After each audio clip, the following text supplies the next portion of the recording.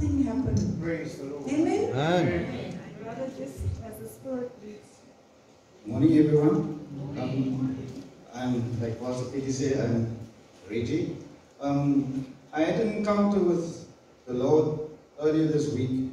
So it was like a splinter in my mind, always wondering, so how does the Lord actually really works? Mm.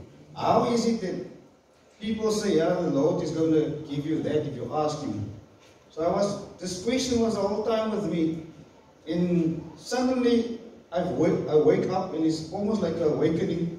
And the voice came to me and said, listen here, I am spirit.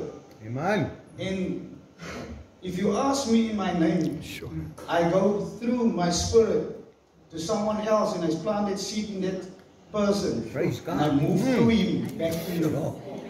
And, and it was like a revelation. Amen. So easy, it's so simple, but I never knew it was like that. So yeah, so the Lord gave me that opening and that awakening during this week. And I thought to myself, I'm I'm gonna come to the Lord's house and, and thank him personally Amen. in his house. so I would like to thank the Lord. Thank you, Lord, for giving me that awakening and bless me and always bless me with what I have Sure. with health and everything. Hmm. Amen. Amen.